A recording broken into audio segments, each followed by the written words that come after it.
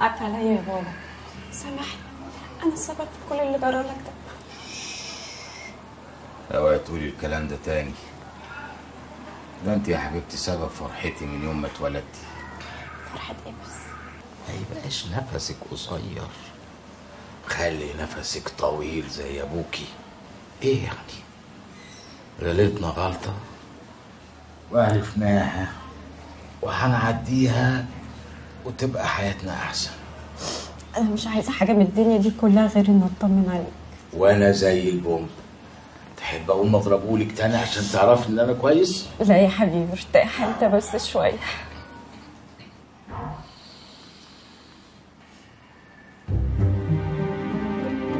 مفيش أخبار من سامر اخوكي كويس. اتصل اطمن عليك. تكذبي عليا يا ليلى. يا بنت ابوكي اشطر ضابط مباحث. يعني شغلته يكشف اللي بيكذبوا عليه زيك كده دلوقتي. معلش يمكن مشغول ولا حاجة؟ ولا مش مشغول هو حر. بكرة يا أهل. الله يرحمها والدتك. يا ما نبهتها وقلت لها نتيجة دلعك ده هتكون مش كويسة. معلش. ما تزعلش نفسك انت بس. اتفضل. السلام عليكم. أهلا يا أيمن ألف سلام عليك يا باشا. يا للدرجة دي أنت بتحبها؟ إلا بحبها. ده أنا ما صدقت لقيتها. أنا ما كنتش متخيل إن الدنيا لسه فيها بنات عاملة كده. عاملة كده إزاي يعني؟ عاملة عاملة زيها كده. يعني شوف أنا مش عارف أوصف لك بس بتهيألي إن لو ربنا كان عامل واحدة مخصوص علشاني كانت هتبقى هي حنين. الله الله الله الله يا سلام يا سلام. يا ترى بقى قلت لك الكلام الحلو ده ولا بتصدع دماغي أنا بيه وخلاص؟ لا بصراحة لسه. لسه إيه يا مغفل؟ أنت بتعرفها بقالك أكتر من شهرين. أصل عيد ميلادها قرب وأنا ناوي أعمل لها مفاجأة وأقول لها يوميها. يا أخي هي الحاجات دي محتاجة مناسبات؟ معاك فلوس تجيب لها هدية حلوة ولا هتكسفنا؟ لا فلوس إيه؟ أنا اعمل لها هدية بإيديا. شغل خشب إنما إيه؟ أصلي. ربنا يستر.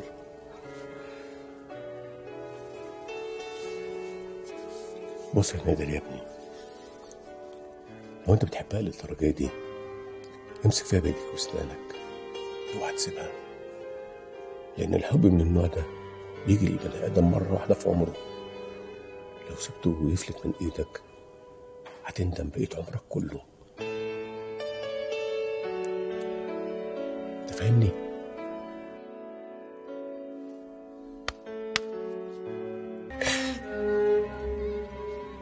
في ناس لقوني ملفوفة في حتة قماش ومرمية في الزبالة.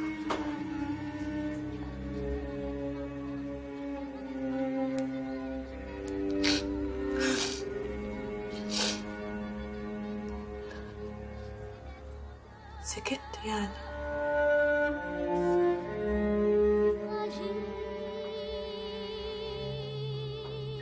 طب وأهلك ان أنت عمالة تحكي عنهم دول؟ ألفتهم. طول عمري كان نفسي يبقى عندي أهل زي بقية الناس. اخترعت أهل زي ما بتمناهم. بقيت دايما بحكي عنهم. وما حاولتش توصلي لأهلك؟ لا والله حاولت كتير. بس ما وصلتش لحاجة